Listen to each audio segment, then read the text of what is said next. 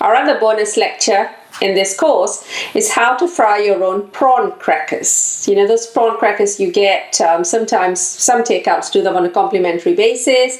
Over here, sometimes you have to pay a pound for that much, that many prawn crackers. Um, you can also find them in supermarkets here in the UK, ready fried and ready to eat, as it were. However, we always make our own prawn crackers. And essentially, to do this course, you have to take a trip to your Oriental supermarket or grocer or go online right? So when you do that, you're also going to find unfried prawn crackers. These are the Chinese variety. Little discs of solid crackers, I guess. Now, these are made of, let me see, the ingredients there cornstarch, water, prawns, some sugar, and some salt. That's it.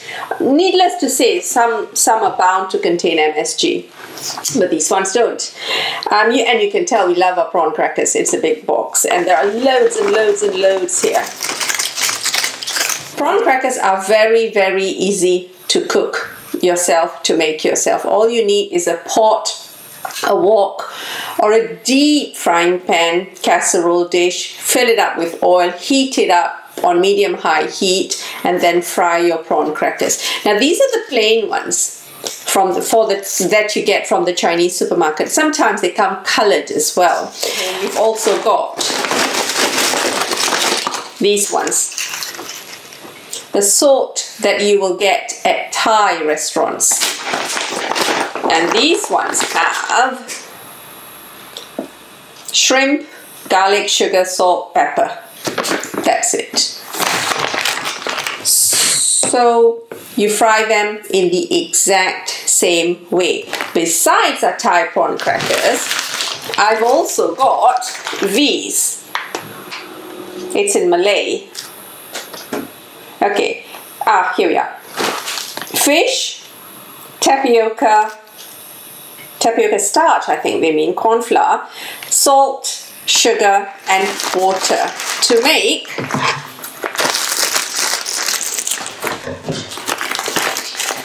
these are slightly long to make these fish crackers. And these I cannot find in the UK, so when I, whenever I have someone coming to visit from Singapore or Malaysia, they always get me a few packs.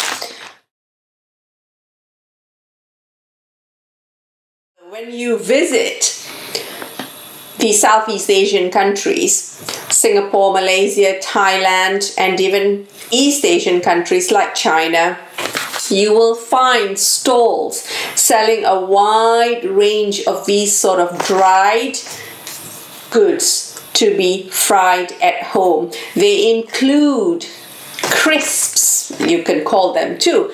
They include crackers made of vegetables, um, all sorts of vegetables, like this one here.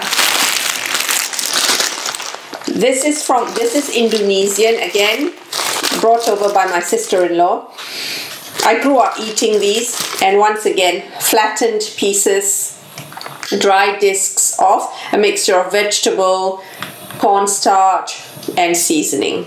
And I don't know what vegetable goes into making these. It doesn't say.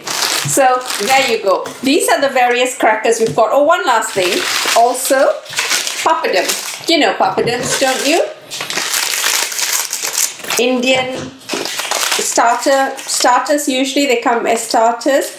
So that's a papadum and then just drop it in and once again it'll puff up and come up to the top and it's ready. You can also cook papadums in, my, in the microwave oven, I think 10 seconds depending on the strength of your microwave. Sort of sprinkle a bit of water, zap them for 10 seconds and they'll be ready. But it's not the same. No matter what anybody tells me, it's not the same as when you actually fry them. So there you go. So to fry our prawn crackers, we need one of these skimmers one of these Chinese skimmers. We also need a plate lined with kitchen paper. Although, if truth be told, whenever I make prawn crackers at home, I make so many that I actually have a massive big bowl lined with kitchen paper and then all the prawn crackers get dumped. Two of them actually, because whenever I make prawn crackers, always the Chinese ones and the spicy ones because of different tastes in the family. So that's it. Let's go take a closer look at the prawn crackers and then we'll get frying. And this is what your uncooked prawn crackers look like. Pretty translucent. Those are your Chinese prawn crackers. That's those are the Thai ones, papadums. These are the vegetable ones from Indonesia, and these are the fish crackers from Malaysia. There you go. And when you've fried your prawn crackers, it's not really something I need to show you, I don't think, but there you go. These are your fried prawn crackers. Ready for it? There we go. You can see the air above the oil is starting to shimmer. Drop a small piece. If it comes straight back up, the oil is hot enough. So drop a few in.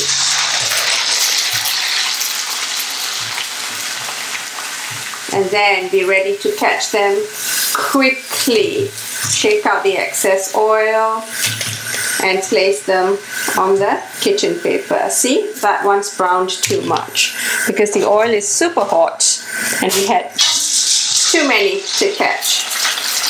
So the bigger the skimmer, the easier this job is going to be. There we are. Those were perfect. This is perfect. So we keep going. And this is how you fry prawn crackers at home.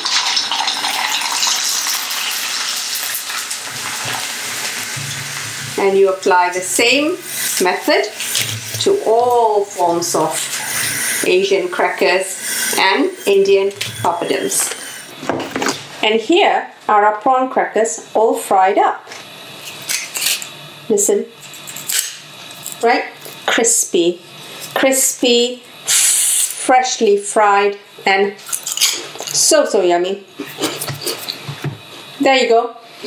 And how long did it take me to make this? Okay, the oil took about maybe two minutes, three minutes to heat up. And then it was a matter of maybe I put a handful in each time to fry.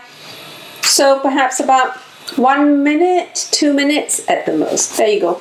Homemade prawn crackers. Because nothing beats homemade.